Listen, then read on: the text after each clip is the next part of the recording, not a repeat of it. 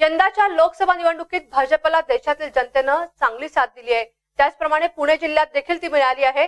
यामध्ये बारामती लोकसभा मतदारसंघात आमची ताकद थोडी कमी पडली असं मत पुणे लोकसभा मतदारसंघाचे नवनिर्वाचित खासदार गिरीश बापट यांनी पुण्यात आयोजित पत्रकार परिषदेत मांडलं.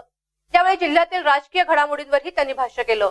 पुणे जिल्ह्यात मागील निवडणुकीप्रमाणे यावेळी देखील प्रत्येक ठिकाणी नागरिकाचा उमेदवाराला पाठिंबा मिळालाय मावळ लोकसभा मतदारसंघात प्रचारादरम्यान प्रत्येक भाषणात महायुतीचे उमेदवार श्रीरंग बारणे प्रचंड मताने निवडून येतील असं सांगितलं होतं.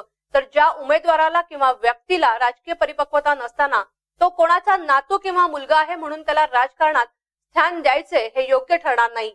त्यासाठी त्याला स्वतःला पुढे येऊन सिद्ध करावे लागणार आहे असा टोला गिरीश बापट यांनी पार्थ पवार यांच्या पराभवाच्या निमित्ताने पवार कुटुंबाला लगवलाय. तर राजकारणात नगरमधून सुजय विखे यांनी स्वतःला सिद्ध केल्याचं सांगत त्यांनी त्याचं कौतुकही केलं.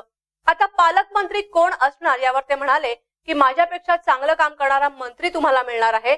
कसबा विधानसभा मतदारसंघाचा उत्तराधिकारी कोण असेल यावर ते म्हणाले आजवर राजकीय जीवनातील प्रत्येक निर्णय सर्वांना सोबत घेऊन घेतलाय. त्यामुळे कसब्याचा उत्तराधिकारी निवडण्याचा निर्णय देखील सर्वांनी मिळूनच घेऊ आणि लवकरच तो जाहीर करू असं त्यांनी सांगितलंय. मी स्वतः उमेदवार असल्यामुळे आणि बारामतीचाही प्रचार त्याच वेळेस संपल्यामुळे मला जे चार दिवस तिकडे जाता आलं नाही.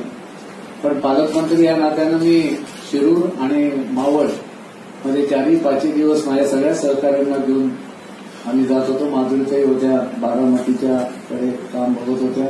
बाकी मावळलाही सगळे बाळा भेटले होते लक्ष्मण जगतापही इथे बसले जातात आणि एक नक्की आहे की थोडी ताकद आमची बारामतीला कमी पडली असेल पण सगळेच निवडणुकांच्यात असल्यामुळे शेवटी त्या त्या भागातले तरी काही चांगल्या टीम्स तिथे काम करत होत्या काही व्यक्ती काम करत होत्या काही मंत्री काम करत होते.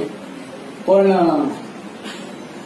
मावळचा निकाल मी आधीच माझ्या अनेक जाहीर भाषणातही सांगितलं होतं की आता अशी घराणेशाही आणि राजकीय परिपक्वता नसताना केवळ कोणीतरी कोणाचा नातू आहे मुलगा आहे म्हणून त्याला राजकीय जीवनात स्थान देणं त्याची गुणवत्ता असेल तर जरूर द्यावं काही माझं म्हणणं नाही आणि ती सिद्धही करून दाखवली लागते जशी विखे पाटलांनी दाखवली. त्यामुळे मावळची सीट ही लागलेली आहे. बारामतीत थोडे कमी पडलो. आपल्यालाही माहिती आहे की जसं आमच्याकडे कोथरूड पर्वती कसबा हे भाजपचे बारीक किल्ले आहेत.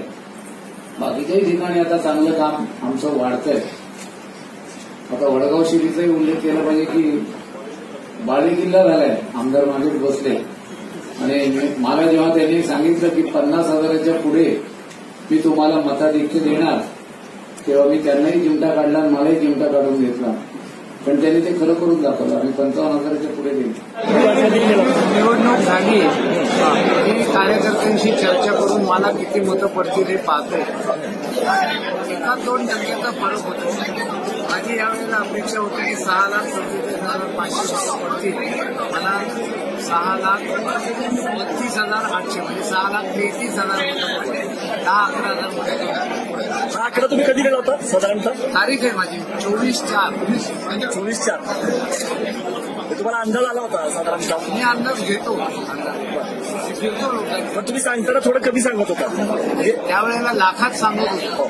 तुम्ही माझे वाक्य काढून बघा मी फार की काही लाखांनी मी निवडून तुम्ही हे नाही विचारलं किती लाख